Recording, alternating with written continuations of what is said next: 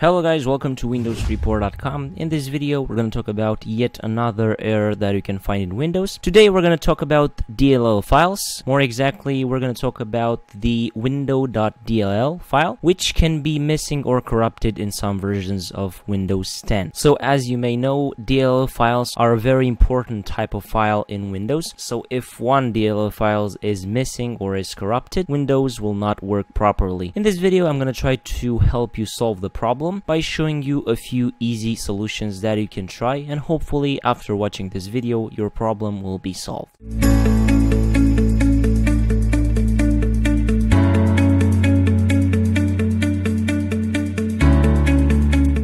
Firstly, I'm going to present you uh, a dedicated software that can help you solve the problem.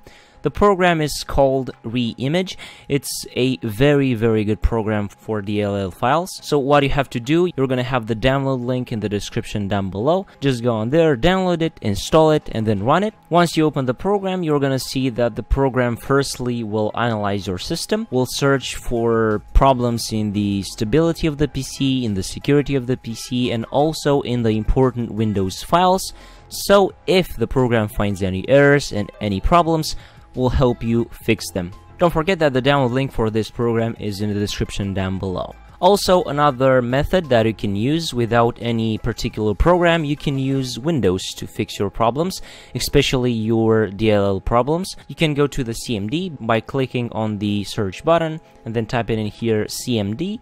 Right click on command prompt, run as administrator, and in command prompt, we're gonna type sfc space slash scan now this is a type of scan that you can use in Windows. Uh, Windows will scan the important system files and also will help you fix them. So that's how you can solve the problem, the window.dll problem. And uh, this tutorial is actually working for other types of DLLs. So you can try to do that if you have any other problems or you can check out our other videos. We have a lot of videos covering issues like this in windows. So i'm hoping after trying all that your problem is solved. So this was the video guys. Don't forget to leave a like if you enjoyed it and subscribe to the channel with the notification bell activated so you won't miss any future uploads. Also don't forget to leave a comment down below with problems that you have on your windows operating system and we can try to solve your issue in the next video. Until next time, have a nice day.